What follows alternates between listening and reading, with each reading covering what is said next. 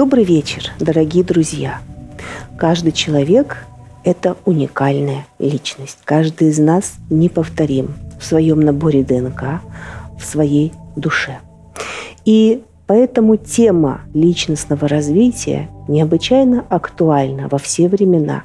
А в наше время, во время развития индивидуальности человека, эта тема актуальна и востребована особенно. И сегодняшняя гостья передачи «Избранный» – человек пассионарий, находящийся на пике волны нового времени. Человек, который вносит огромный вклад в развитие культуры и духовности нашей современности. Итак, встречайте консультант в области личностного развития, красивая девушка Мируэрт Кайдарова. Добрый вечер, Мируэрт. Добрый вечер, Карина. Я очень Добрый рада, вечер, что Алихан. вы нашли время, зашли к нам на передачу «На огонек», теплый, душевный, на передачу «Избранные». У нас только самые интересные личности бывают в гостях, действительно избранные, которые достигли в развитии своей уникальности границы, выделяющие их из толпы. Да? То есть каждый человек уникален, но избранный тот, чья уникальность уже сияет особенно ярко, она заметна. Вот как вы, например. Да. Я знакома с вашей мамой, мамы Махабат Кайдарова, создательница брачного агентства Мегалав, замечательным астрологом, астропсихологом, обаятельнейшая, мудрая, добрая женщина. Вот. И какая у нее красивая и мудрая дочь, да, да. тоже. Просто, ну, очень приятно с вами познакомиться, наконец-то, вживую. Давайте сразу начнем от mm-hmm. печки главной. Консультируете личностное развитие. Расскажите, пожалуйста, об этом поподробнее. Консультирую я не только клиентов, э, со стороны мамы, то есть когда к ней приходят, mm-hmm. обращаются.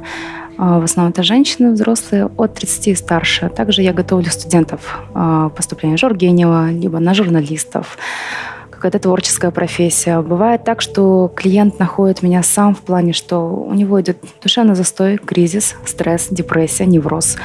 Э, он не может выйти из состояния стагнации, болота. То есть я полностью его разворачиваю к себе. То есть отрекись от внешнего мира, отрежь все ненужное, давай мы нырнем в тебя. Кто-то есть, что-то есть, что тебя заполняет. Но, как правило, человек начинает плыть на этих вопросах, потому mm-hmm. что внутри идет пустота, плюс какие-то внешние факторы стресса, неврозы. И мы начинаем читать просто идя, грубо говоря, по школьной программе, то, что не зафиксировал в детстве, юности, в подростковый период, мы возвращаемся к старым книгам, мы возвращаемся к старым рассказам, там, вплоть до «Вишневого сада», и мы прям разбираем каждое произведение.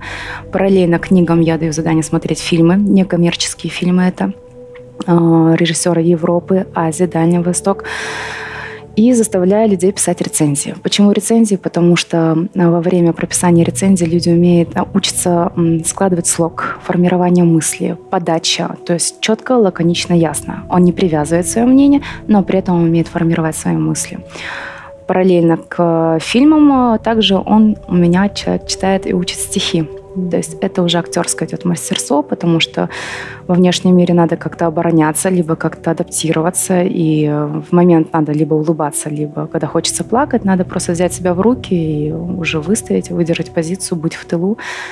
И плюс это развивает память как ни крути, потому что нынешняя молодежь, да и не только молодежь, а мы пустые что бы мы ни изучали, что бы мы ни смотрели, если нет базы, основы, фундамента, идет пустота, и эта пустота потом разъедает душу. И если душа разъедена, там уже не соберешь ее ни психологом, ни астрологом, как ни крути, какие бы специалисты сильные не были. Потому что вся сила, она идет изнутри. А когда есть база, есть знания, то эта уже сила, она непоколебима, что бы ни происходило во внешнем мире. Мирошка, а что вы называете пустотой внутренней? Пустота, э, в моем понятии пустота – это когда нет желания, нет действия, когда э, нет стремления, либо когда человек присыщается всем, ну, некий такой духовный коллапс – то есть несколько категорий. Люди, которые пустые изначально, не хотят ничего двигать, изучать, стремиться. И люди, которые э, не то чтобы достигли предела, но они достигли какого-то уровня определенного и не знают, как это реализовать себя во внешнем мире подать. И приходит опустошение, руки опускаются, и приходят и, невро, и депрессии, и стрессовые ситуации. Но затяжная депрессия в основном. Mm-hmm. То есть в любом случае пустота основывается на какой-то форме невежества. Правильно вас понимаю? Да. А вот изначальная пустота, почему вдруг человек а, приходит к вам не, не присыщенным материальной действительностью внешней, да, угу. а вот пустым изначально. Вот это что? Это грехи воспитания. Родители не прикладывали внимания какого-то к своим детям. Или это какая-то, какой-то склад личности. Это все внешние факторы, которые влияют на формирование ребенка, на личность в дальнейшем. Я вообще не люблю э, говорить, что родители виноваты в том-то, в том-то. Ни в чем они виноваты. Они как могут, так воспитывают. Да, как могут, да? они кормят, поднимают, стремятся, идут. И это уже зависит от человека, от ребенка изначально. Либо ты будешь дурью маяться, ходить угу. и прожигать свое время, либо ты сядешь и конкретно начнешь что-то изучать, углубляться. Угу. Ну, наши родители – это проводники. Они привели нас во внешний мир, все. Дали тебе жизнь, дорогу, показали вектор, указали. Дальше, если хочешь, развиваешься, не хочешь, то уходишь за бытие какое-то, приходит, опять-таки, это состояние стагнации, ты дальше не двигаешься. Вот. А люди, которые приходят ко мне, это же не только возраст к 30 годам, ближе к 40, это женщины, которые не могут потом построить отношения. Это и, скажем так, молодые люди, от 17 и старше. Угу где родители не понимают, где они настаивают, допустим, чтобы он поступал на финансиста, а ребенок хочет идти на режиссера. То есть и там идут конфликты, и привлекает меня как третье лицо, чтобы я уже начала как бы разбираться в ребенке. Я начинаю его ковырять, разговаривать, мы ведем очень долгие диалоги, беседы и уже идет подготовка к той или иной специальности. Хочешь финансово, окей, давай сядем по финансам, прогоним. Хочешь творческое, садимся, пишем рецензии, изучаем наш казафильм, изучаем наших бомондов, наших э, режиссеров, ну, мастаков. Угу, То есть угу. это те люди, которые подняли, воспитали культуру, как чтобы люди не говорили, у нас есть культура, она архаична, она сильна, она мощна по-своему. Если углубиться в нее, то можно увидеть очень много сильных истоков очень, где можно черпать и вдохновляться, и понимать, и верить то, что вся серая масса, которая нас окружает, это неплохо, не хорошо. Она есть. Надо ее принимать как, как константа. То есть во всех странах, во всех временах, во всех периодах такая масса есть. Но не надо уподобляться ею. То есть становиться как все. Я не говорю, что надо быть выскочкой, либо быть круче всех, либо быть пафосным. Нет, просто надо найти свою нишу и именно через духовность, какое-то духовное начало, через нравственное начало, это надо прокачивать, прогонять. Mm-hmm. Потому что, ну, иначе, опять-таки, приходишь к тому, что ты добиваешься всех целей, ты добиваешься там, возможно, каких-то материальных благ, и даже ты строишь семью. И бывает так, что в 50 лет ты женщина, мужчина, они одиноки внутри. Там будут бегать внуки, там будут бегать дети, но они не приносят этого счастья. Это все бытовое счастье, это счастье по крови, счастье по духу. Но когда дети уходят в школу, либо внуки уходят в детский садик, у человека приходят тоже э, такие моменты, когда он дальше не знает, как двигаться, потому что ему все неинтересно. А чтобы такого не стало, надо всегда себя увлекать. То есть, ну, идти со страстью, как бы не говорили, что страсть это порог. Нет. Страсть это не порог, это то, что двигает нами. Ну, страсть это деятельность, пока мы живем в материальной действительности, она необходима тоже в той или иной степени. А все-таки вот меня, меня заинтересовала ваша культура терапия. Вот э, пришла женщина или девушка угу. к вам, да? Вы в основном женщин, да, девушек? Консультируете ну, да, или мужчин больше, тоже? больше половины. Есть мужская сторона, как бы тоже здесь, но с ними сложнее, потому mm что это менее дисциплинированный народ, скажем mm так, и сложно, как бы, э, если мы занимаемся, это как минимум два раза в неделю, я даю целый список домашнего задания, если ты не выполняешь, я настаиваю на то, что не хочешь выполнять домашнюю работу, приходи, будем домашнюю работу делать во время встречи. mm То есть э, без закрепления материала и без разбора того или иного там фильма, либо книги мы дальше не двигаемся. Но я смысла не вижу. Если он это не освоил на данный момент, то давать новую информацию для чего? Он может сам прийти, почитать эту книгу, взять другую книгу, сказать, я начитанный, я умный, я иду на волне, но надо уметь читать между строк и понимать, что хотели донести, какой сюжет, какой смысл, какой посыл. Ну, как-то вот так работаю в таком угу. плане. Вы э, обсудили сюжет, да, посыл, смысл произведения. Угу. А что это дает вашему клиенту? То есть он начинает лучше понимать других людей да. через это себя? Да. Как? Он, а, во-первых, э, видит не только сюжет, сюжетную линию, он видит игру, он видит параллели, он изучает типажи. Это не фильмы, не коммерческие, ну, допустим, того же Ларса фон Триера, там, фильм «Догвиль». Человек, который смотрит, он понимает, что это полный разрез э, представлением о кинематографе на данный момент, но при этом он понимает, что в этом фильме задействован как минимум там 5-6 типажей. И мы идем, там главный герой, поехали, кто он, сангвиник, холерик, меланхолик, флегматик. Почему? Что поспособствовало именно такого восприятия? Что поспособствовало именно этой ситуации? Почему она бежала? То есть сам фильм посыл то, что там папа плохой, папа неплохой. Просто дочь не захотела принять папу таким, какой он mm-hmm. есть. Отсюда вытекает презрение, высокомерие, выходит у человека обиды. Мама, папа плохие, сестра не додала, брат отжал, э, не получилось. Э, это же мышление паупера, когда все вокруг виноваты. Никто не виноват. Ты садишься, сосредотачиваешься. А, зачастую занятия у нас проходят также где-нибудь в кофейнях, неважно, там, где есть люди. А, можно человека изучить по манере разговора, подаче, интонации, даже тело, тело, телодвижения. То есть человека ты видишь, ты понимаешь, каким он был, какой он сейчас, что его гложет, что не гложет. Но для того, чтобы это увидеть, человек должен сам замолчать и уметь наблюдать со стороны. Вот. И мы сидим, как два сумасшедших со стороны, как вроде как бы казалось, сидим, пьем кофе и смотрим, как сумасшедший на одного человека. Я говорю, расскажи, кто он, сколько детей, сколько там ему лет, кем он работает, а, счастлив ли он в этой работе, есть ли у него супруга, есть ли у него там не знаю, кто-то, что-то, чтобы чем двигался и мотивировался дальше. Ну и вплоть до того, какой он в быту, этот человек. Он аккуратный, неаккуратный, какой он в общении, в дружбе. 50% возможно мы промазываем, и я больше чем уверена, что мы промазываем. Но этот сам процесс, когда человек начинает затихать, притухать и прислушиваться, он для него очень важен.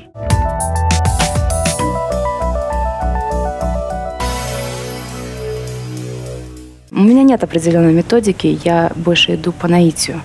Я разговариваю с человеком, я его вижу, начинаю, пытаюсь его как-то считать, понять, что он хочет, и уже подбираю и в том числе и фильмы, и книги, что ему ближе, что он освоит, что осилит.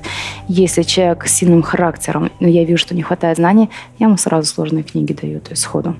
Давай, читай, пока не прочтешь, двигаться дальше не будем. Если человек с характером, и он амбициозен, и у него есть какие-то желания, он это делает у него это получается. Трансформации идут, болезненно идут. А женщины, которыми занимаюсь, они на Цветаевой плачут. Я говорю, давай, Цветаева, просто элементарно с них. Читай вслух. Читай по интонациям, читай по эмоциям, почитай мне по чувствам.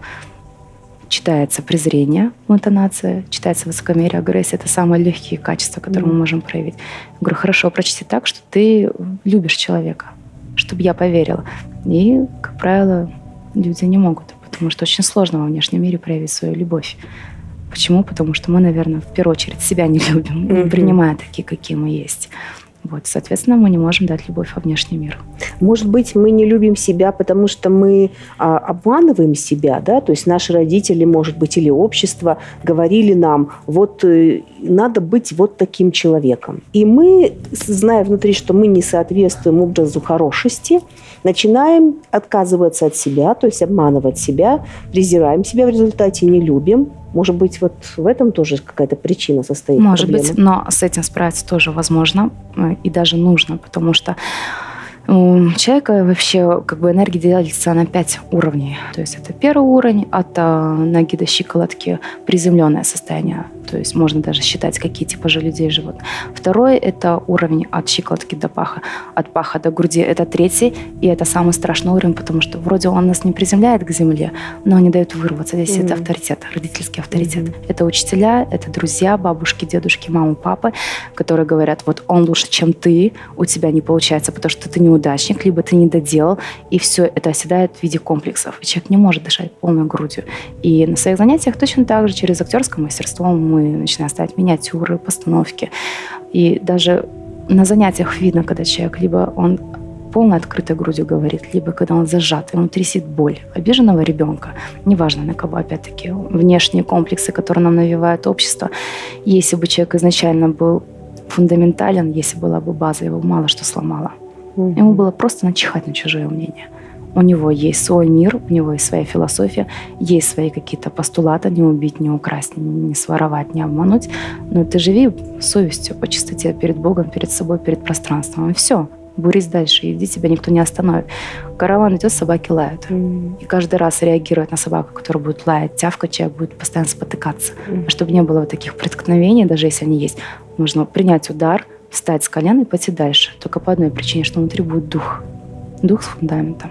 Но ведь очень много людей, вы сейчас тоже затронули эту тему, любят обвинять всех вокруг себя, только не себя. Да, потому То это самый Почему? В чем причина здесь? Это неразвитость. Мы э, боимся тогда, когда мы не знаем не знаем той или иной ситуации. Мы обвиняем тогда, когда мы не знаем, как принять эту вину на себя. Маргелановское мышление, оно всегда было, было и есть. И как ни крути, даже у меня прослеживается это поведение, когда начинаю злиться, что-то не получается, я ищу внешние аспекты, почему не получается. Угу. И ищу виноватых. Несмотря на всю теорию, на все знания, понимаю, что это деструктивно, что энергия рушится. Как ни крути, мы будем искать виноватых. И это очень плохо, потому что мы уничтожаем человека, которого мы находим объект, якобы, который виновен. И в первую очередь мы тянем свое время. Мы не принимая свою ошибку, мы начинаем перекладывать на чужого человека. Ну как же справляться? Вы как справляетесь?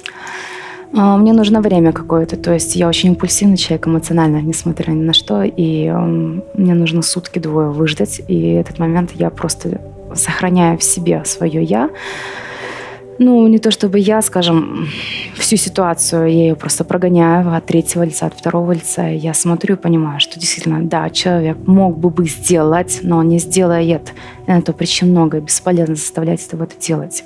Поэтому лучше самой это принять, в следующий раз сделать другой какой-то план действий, построить другие шаги и уже стараться не повторять этих ошибок. И можно, ну, также, не знаю, для меня мантры медитации какие-то. Ну, в первую очередь это книги, все. Если я понимаю, что меня начинает нести в разные стороны, я беру книгу, у меня в ушах музыка, и мне так спокойнее. Ну и единственное мой, наверное, успокоительный момент – мой сын. Mm-hmm. Это такое нежное, созидательное состояние, если он видит, что меня все в разные стороны несет, он все хорошо, все хорошо, хорошо. Во-первых, он никого не подпускает ко мне, он сразу такой, как некий хранитель мой. И, во-вторых, он сам не лезет ко мне. Он может спокойно рядом лечь, он может поцеловать меня, обнять, там, взять расческу, начать волосы гладить. То есть он, мы с ним ролями меняемся в этот момент. Он становится для меня родителем, а я становлюсь как маленький ребенок. И этот период я беру для того, чтобы восстановиться. И оно мне помогает так, по крайней мере.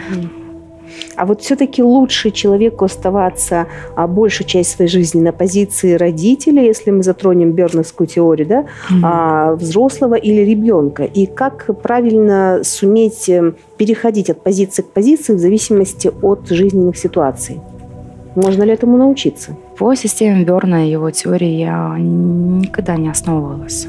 Я вообще, когда э, была беременна и понимала, что мне надо воспитать сына достойно, так и так и так. Вся теория, она полетела в тартарары. Угу. Когда ты видишь маленький комок счастья, ты понимаешь, что ты будешь зависеть от его настроения, того желания. И весь эгоизм, который есть в человеке присущий, он отступает на второй план. И я воспитываю немного по-другому. У меня ребенок мой друг угу. в первую очередь.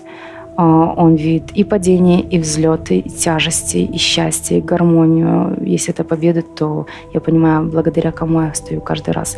Если это падение, я знаю, что я приду домой, и ребенок мне поставит там чай, конфеты. Мама, все хорошо, давай вставай, давай поспи, отдохни. И я с ним, наверное, с самого детства очень со стороны казалось строго. Это было не строго, скорее всего, это было равенство. Угу. То есть сказал, отвечай за действия. Не сказал, получишь. Если ты не можешь за свои действия ответить, то все, как бы разговор будет короткий. Я там начинаю ограничивать гаджеты, какие-то интересы. А, но и при этом у нас с ним идет, мы, допустим, летом с ним байговались. Я читала Дэниела Киза, он читал Дэниела Киза разные mm-hmm. книги. Я понимаю, что опять школа придет и меня вызовет директ, скажет, что не ту книгу вы даете, mm-hmm. не по возрасту. Но ребенок не хочет читать то, что ему по возрасту сейчас положено. И я уважаю его выбор. Он занимался музыкой 4 года, скрипка – самый сложный инструмент. Это был очень сложный, сложный период в плане, что гимназия, лингвистика плюс скрипка.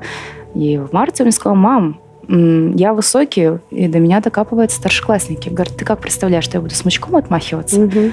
Я говорю, хорошо, что ты хочешь? Верни меня в спорт. Я не успеваю. Я хочу заниматься спортом. Хорошо, бабушка там поплакала ковет, что столько силы и усилий было затрачено. Я сказала, окей, мужик растет, все хорошо. То есть любое его начинание, если оно не абсурдно, если оно не идет во вред ему, всегда за ура. И зачастую мама говорит, у меня такое ощущение, что, говорит, ты не себе не сына родила, как будто я родила тебе сына, и вы как брат и сестра вдвоем носитесь, бегаете по квартире и шашками кричите и визжите. Не верю в воспитание, где используется кнут. Дисциплина, да, строгость, да. И привитие чувства, что ты не то чтобы должен, а есть честь, есть доблесть, есть достоинство и умение брать ответ за свои слова. Тем более растет мужчина. Вот. А остальные теории, сколько бы их ни изучала, не рассматривала, все книги перелистывала, это не мое. Не хочу так. Не хочу идти по стандарту, не хочу идти по теории, потому что каждый человек, он индивидуален. Невозможно под одну пленку, под, одно, под один кнут, либо гребенку подогнать всех. Я знаю, что ваша мама Махабат Кайдарова, это известный а, астропсихолог. А вы как, переняли от вашей мамы увлечение эзотерическими практиками? Да, а, было время, ну как было, я росла в этом, у меня мама астропсихолог, получается, тетя астролог тоже профессионально. А, меня, честно говоря, мама это увидит, будет ругать дома, но а, меня иногда нервируют прогнозы, если что-то где-то не получается, мама очень, скажем так, добрая, она слишком добрая, она слишком терпеливая. И люди, которые нас окружают, если у них идут какие-то косяки, либо какие-то нехорошие действия со стороны. Она говорит, вот там солнечное затмение, Меркурий прожег, ушел в первый уровень. Я думаю, боже мой, мама, какой Меркурий? Я говорю, человек безнравственный. Я говорю, таких надо наказывать. Я говорю, хватаем кнут, бежим. Она говорит, нет, Балау, надо быть терпеливее она может быть права, либо я не зрелая, еще неопытная. Может быть, просто надо проигнорировать данную ситуацию, но я не могу, как она, допустим, полностью все аспектировать, все детализировать и говорить, что Меркурий виноват. Нет, Меркурий не виноват. Меркурий тебе дает возможность развивать свой мозг. Если Меркурий уходит в ретроград, да, лучше сядь, остановись, отдышись, потому что все бесполезные действия во внешнем мире будут. Они бесполезны. Все пойдет в обратную сторону. Но говорят, что человек поступил так или иначе, потому что у него там Венера упала на первый уровень. Нет. Венера не может на первый уровень упасть. Она где-то там, святилище в небе, очень высоко и далеко. Но э, хочу ей сказать спасибо огромное в том плане, что когда я знакомлюсь с людьми, когда я, если мне нужно собрать быстро информацию человека, понимать, как с ним вести переговоры, я его считываю, даже не зная его день рождения, то есть mm-hmm. я его высчитываю по типажу и понимаю, как с ним разговаривать. И в этом, да, помогла астрология очень сильно, потому что знаешь определенные э, моменты, определенные какие-то э, ситуации, планетарий. Ты понимаешь, что этому человеку бесполезно предлагать это дело, потому что не пойдет он. Если он водный, и он везде видит врага, он никогда не пойдет на какое-то такое ну, на рискованное дело, либо он не будет энтузиастом. Это надо с огнем идти, берешь, хватаешь огонь, пошли в бой, пойдем, все. А вода нет, она будет с книжкой тихо, спокойно сидеть и созидать, и говорить о духовности. Эзотерика тоже сильно помогла в том плане, что э, она мне помогает лечить людей с теми, с кем я работаю. Тем не менее, это идет техника на прощение, прощение себя и своих близких. Если ты не будешь понимать, что есть законы пространства, законы, неважно, Бог, пространство, космос, э, тем не менее, ты понимаешь эзотерически, что есть определенная высшая сила, если ты не будешь следовать этим законам, то придет карма. Вот и все каждый кармический узел рано или поздно разворачивается, возвращается, и он дает о себе знать. Либо ты прорабатываешь себя к этому моменту, либо ты опять возвращаешься к той же самой ситуации, и урок повторяется.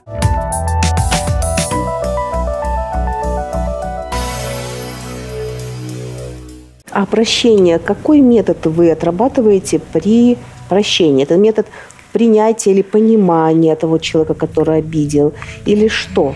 Как а, Принятие, в первую mm-hmm. очередь, принятие той ситуации, которая была, либо которая может быть, принять. Не говорю принять, отпустить, простить, нет. Прими эту ситуацию, просто прими и пойми, что на тот момент ты ничего не мог сделать, э, что-то исправить. И второй момент, у меня больше не аффирмации идут. Я работаю именно с фиолетовым состоянием, это молитва Сан-Жермена, жители Атлантиды. Угу. То есть там есть определенные свои молитвы, свои техники. Они идут в свободной форме. То есть там есть состояние огня каким бы он деструктивным ни был, он может сжигать и прожигать города, но он может и поднимать целое государство благодаря огню. И через эзотерику, через эти молитвы эм, зажигаем свечу, молимся, человек начинает там рассказывать, что-то говорить. Бывает такое, что человек просто уходит, и ему надо проплакаться, просто высказаться через огонь, через прочищение, очищение. Бывают такие моменты. Но я никогда не говорю, что ты должен принять, либо не принять. У тебя есть выбор. Либо ты принимаешь это и идешь дальше, либо ты не принимаешь, ты тащишь весь этот груз за собой и спотыкаешься. Тебе все тяжелее и тяжелее на каждом повороте. Вот. Ну, как-то так. Mm-hmm. Я, э, у меня же нет образования профессионального, ни психолога, ни астролога. Я просто выросла в этой сфере. Для меня это было интересно всегда. Было желание три года назад пойти поступить на психиатра, не на психолога, потому что психиатрия мне всегда была интересна. Но как заболевание, как состояние физическое, как меняется психологическое состояние, психическое, там, вплоть до химии, то есть внутренний состав организма, там все меняется. Угу. Но поняла, что я не могу сейчас себе этого позволить в силу того, что мне надо двигаться дальше, потому что растет позади ребенок, и надо как-то дальше что-то делать, реализовываться и продвигать свои планы и идеи. А на ваш взгляд, в чем причина психиатрических заболеваний человека? Первая теория, насколько я понимаю, это все-таки генетическая сторона, причем женская сторона, а, потому что шизген он передается по женской линии по всем учебникам, по всем статьям и литературе, что я изучала. И второй момент, а, если углубиться очень сильно, в XVIII веке не было понятия шизофрения, было понятие как подлость подлость, безнравственность. Поступить безнравственно, значит, это есть подлость. Если ты поступаешь подло, значит, внутри тебя сидят какие-то сплиты, несколько личностей, которые считают, что вот так можно сделать, а вот так нельзя сделать. Но на этот период я сделаю вот так, вот я поступлю подло. Вот. И только со временем уже, когда медицина стала развиваться, изучать психиатрию глубже, то стали давать какие-то те термины, э, искать, выискивать проблемы, ситуации там вариантов много. Это может быть и насилие в детстве, это может быть просто какой-то садизм, который ты видел со стороны родителей, который отпечатывается в голове. Это может быть внутренний садизм, который в тебе растет. Есть жестокие дети. Угу. Самые жестокие по статистике это подростки.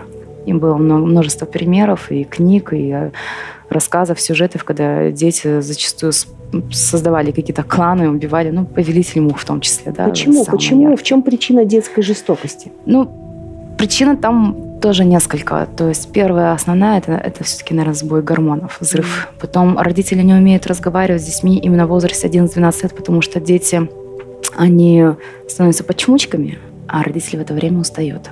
Он приходит с работы, ему некогда разговаривать. Он хочет приготовить покушать, он хочет там прибраться, убраться, постирать, приготовиться на завтра. У ребенка остаются вопросы, и он начинает искать эти ответы. И ищет а зачастую, бывает так, что неправильно, ищет не в тех источниках. Это может быть интернет, либо это может телевизор, либо это просто уличные какие-то э, посиделки. И там все искажается, все это неправильно. Отсюда идет агрессия, отсюда недопонимание, отсюда первый симптом, что меня недолюбили родители, я не нужен родителям потому что я спрашиваю, мне не отвечают. Я ищу, мне не дают. Отсюда накапливается агрессия, обида, боль, непонимание. А все это выливается потом в злость, в озлобленность. И отсюда жестокость появляется. А если мы возьмем пример родительской жестокости вопиющей, когда молодая девушка рождает ребенка и выкидывает его, извините, в унитаз. Почему такие случаи происходят нашей стране? Ведь мы же достаточно цивилизованное общество, или это иллюзия? Такое представление о нас. Но если взять такие случаи, это в основном за периферией Алматы, я так понимаю. Такие случаи, события происходят. Нельзя до брака целоваться, нельзя держаться за ручку.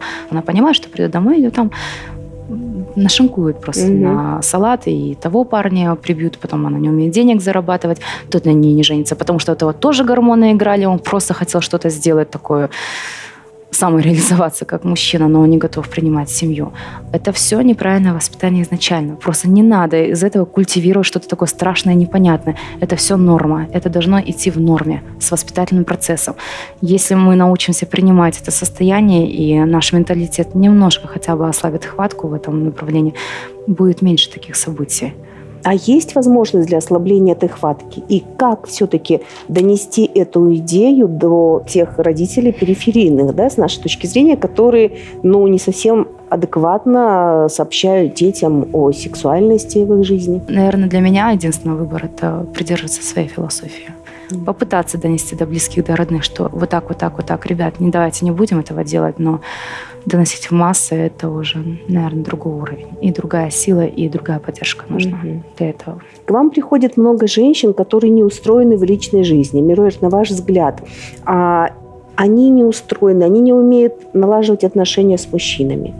Или же они сопротивляются усвоенным в детстве, в юности каким-то стереотипам. Да, там все вместе. Или же, вот знаете, сейчас в Казахстане какой-то вот бум бесплодия. Хорошо, что нашли способы лечения mm-hmm. бесплодия, а, но очень много попыток э, неудачного ЭКО. И с одним из гостей, врачом, гостей нашей передачи, врач, репродуктолог, мы разговаривали и сошлись во мнении, что причиной вот таких неудачных проблем с ЭКО и вообще бесплодие женщин – это их внутреннее подавленное нежелание материнства. Не буду спорить насчет этой теории. Она имеет силу, она имеет смысл, но для меня было немножко другое видение.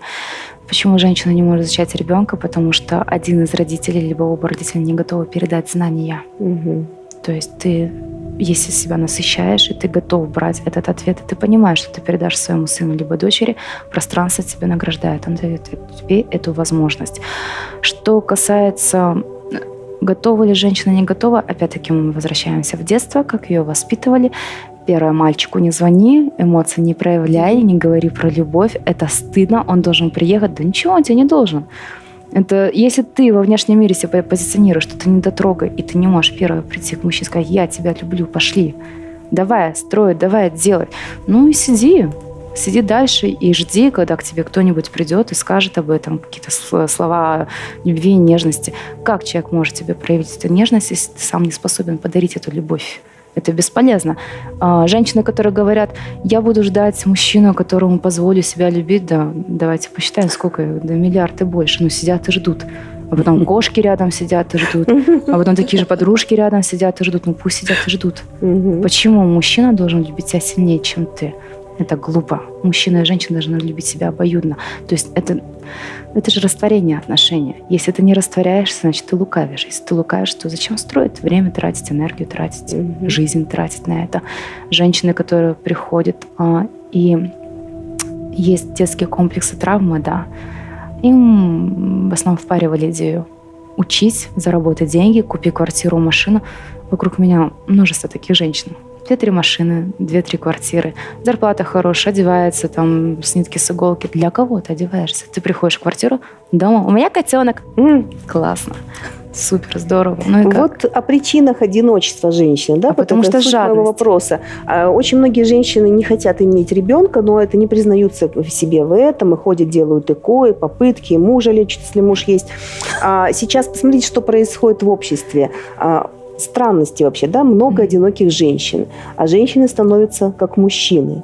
И в плане взятия на себя ответственности, самостоятельного обеспечения себя финансово, и даже в плане смены сексуальной ориентации. А в чем же причина женской неустроенности в личной жизни, на ваш взгляд? А я бы так не ограничивала только женщин. Я считаю, что и мужчина не умеет любить. И мужчины точно так же одиноки в своей жизни, потому что у них свои претензии, что она должна быть, извиняюсь даже не королевой, девочкой, женой, любовницей. Угу. Если ты хочешь все четыре ипостаси, чтобы женщина, ну, хорошо, дай реализация, дай и тыл, дай и стену, дай и защиту, дай и хотя бы понимание того, что во имя тебя можно встать, и ты во имя нее встанешь. Опять-таки, это вопрос того, что мужчина и женщина не умеют а, отдаваться полностью. Женщины, которые одинокие, там жадность. Жадность. Я сидела на маминых психоанализах 12 лет. Опять-таки, mm-hmm. неправильный воспитательный процесс mm-hmm. моих родителей, что они допускали меня на эти психоанализы. Я слышала только одну претензию. Мой мужчина должен зарабатывать больше, чем я. Хорошо. Я этого не понимала долгое время, потом, когда стала подрастать, я понимала, что, возможно, таким образом она будет его уважать больше, если он будет больше зарабатывать а тогда зачем ты будешь зарабатывать? То есть там столько вопросов, они перетекали один за другим. Я поняла, что там везде какая-то алчность. Угу. Что у мужчины алчность, что у женщины какая-то алчность. Женщины, которым сейчас ближе к 40 и не хотят выходить замуж, но это же зона комфорта. Угу. Она прекрасно понимает, что надо встать в 7 утра, надо приготовить еду, надо проводить мужа, собрать детей. Потом дети уйдут, надо накраситься, одеться самой, выехать на работу, вернуться, приготовить покушать, собрать детей в школу, опять что-то сделать по дому, но при этом как просит мужчина, ночью ты должна быть супер любовница. Ну попробуй там сыграть любовницу после 12-часового трудового дня. Это же огромная работа быть в отношениях. Если ты встречаешь своего человека, который принимает тебя даже и без состояния любовницы, а просто как королева твоя, как твоя, не знаю, твой серый кардинал, который будет идти и как шея направлять тебя, это уже огромное счастье. Мы не хотим делиться ни эмоциями, ни знанием, ни счастьем, не создавать что-то. Это жадность. Но это на мой взгляд.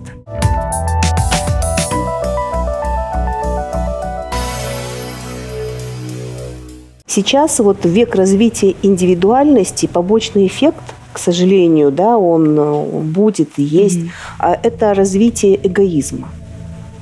Эгоизм это всегда э, разотождествление себя с окружающим миром, да? Mm-hmm. Это нарушение связи с собственной душой, нарушение связи с Богом. Это ощущение опустошенности и одиночества. Это как минимум неумение строить отношения. Главное самим собой. С мужчиной или женщиной это уже вторично. И человек одинок наедине с самим собой, он приходит поэтому к вам со своей этой внутренней пустотой. Есть ли выход здесь? Выход есть. Просто научиться любить себя в первую очередь, как мы говорили в начале как бы, нашего диалога, нашей дискуссии. Научишься любить себя не эгоистично, не себялюбиво. Это пороки научишься любить себя, ты научишься любить другого. Но это же элементарно по Библии. Полюби ближнего самого, как самого себя. Если ты не можешь полюбить себя, как ты подаришь эту любовь своему ближнему, не ближнему, дальнему родственнику, мужу, там, жене? Я за вселенческую любовь. Пусть эта любовь, она исцеляет людей, потому что других инструментов сильнее, чем любовь, я не вижу. Ну, в амплитуду, может, в антагонизм пойдет ненависть, но это моментное состояние. От любви до ненависти там просто щелчок, и ты перегораешь во время там обиды, агрессии, ярости, ненависти. Но ты понимаешь, что самое сильное содержательное – это любовь. Чем отличается любовь от самовлюбленности? Многие люди путают любовь к себе с какой-то крайней формы нарциссизма, эгоизма. Mm-hmm. Любовь к себе здоровая – это уважение себя, своих желаний, своих мечтаний, уважение чужой территории – территория твоих конкурентов, территория твоих родных.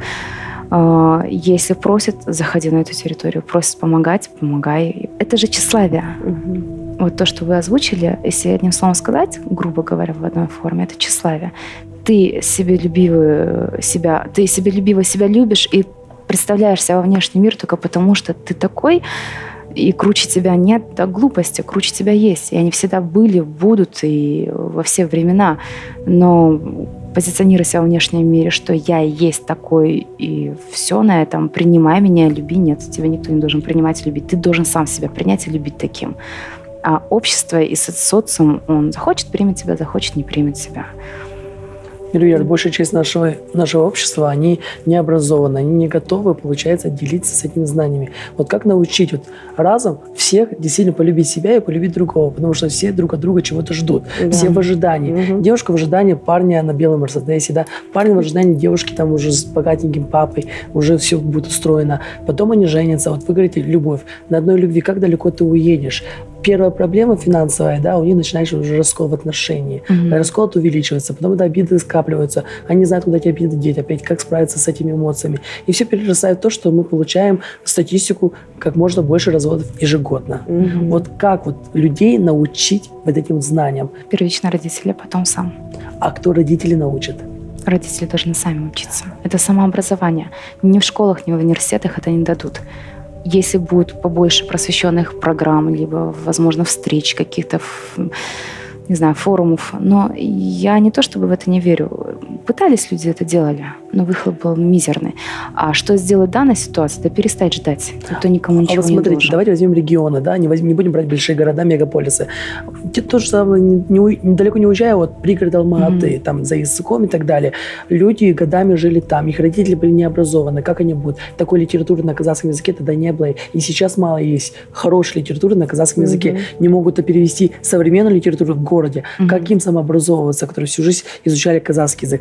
Они не образованы, тем самым дети не образованы. Mm-hmm. Дети изучают... Получается круто, И вот пошел, пошло-поехало. Mm-hmm. Мне все-таки кажется, может быть, здесь должно как-то повлиять самообразование, вот культура Да, страны, но если Минздрав, ой. Министерство образования перестанет выпускать каждый год новые книжки для пятого класса с непонятными картинками, и весь этот бюджет э, вложат э, в переводы именно классической литературы, сильных книг, то и на раздачу бесплатно желательно. Тогда конечно. другой вопрос. Если вот даже Министерство образования, да, вот выделить не книги будут издавать, а отправить таких специалистов, как вы, по регионам, чтобы они образовывали и бес... вели беседы с их родителями, как mm-hmm. правильно воспитывать. А будут ли они готовы к этому? Нет, Ведь... не будут. Вот, а Нет. а как с этим бороться? С мышлением уже людей, чтобы они могли максимально, вот как предыдущий спикер говорил, open mind, да, чтобы они были убрались эти рамки и наконец-то раскрыли свои вот эти, свой, свой головной мозг для mm-hmm. новых знаний от таких специалистов, как вы.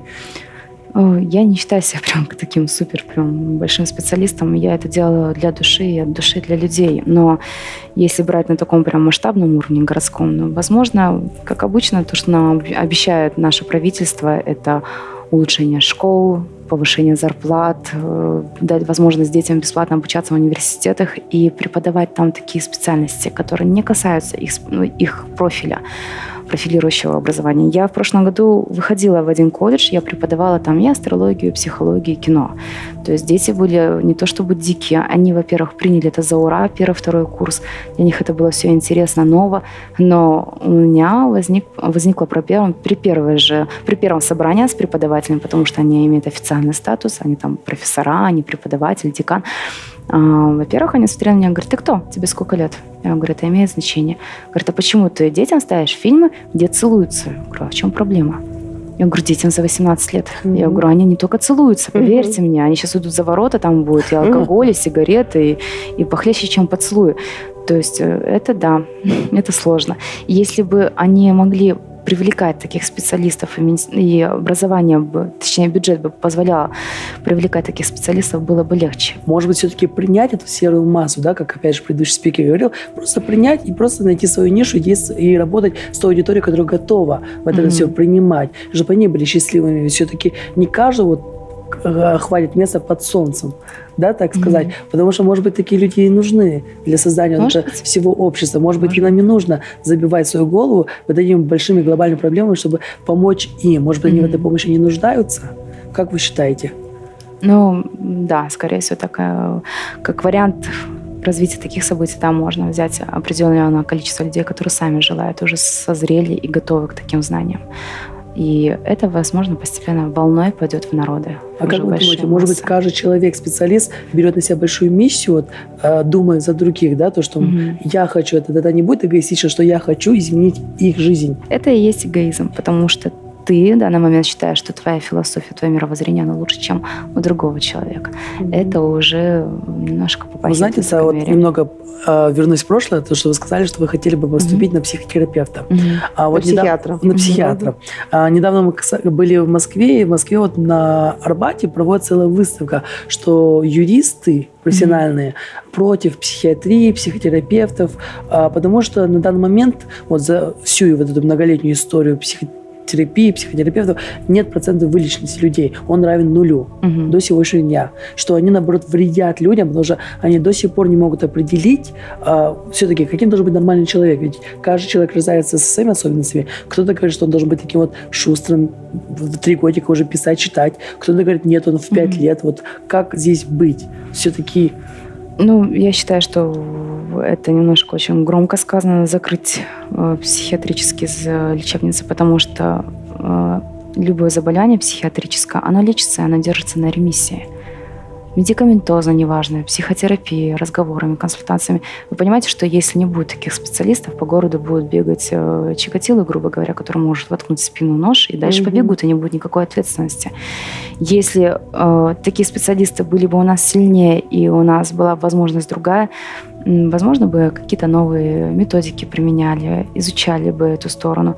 Но я не думаю, что нет пользы. Есть польза, поверьте. Потому что человек, который имеет психологическое отклонение, психиатрическое отклонение, он может социально адаптироваться в обществе, он может работать, он может зарабатывать деньги, он может воспитывать детей. Просто в какой-то момент, если человек осознанно пойдет э, к врачу и скажет, у меня внутри что-то беспокоит, то есть вот эти какие-то душевные начинаются расстройства, и он понимает, что идет регресс, надо просто вовремя это потушить. Синдром Туретта, да, это замыкание нервной системы, когда человек начинает издавать определенные звуки, и которые mm-hmm. мешают обществу.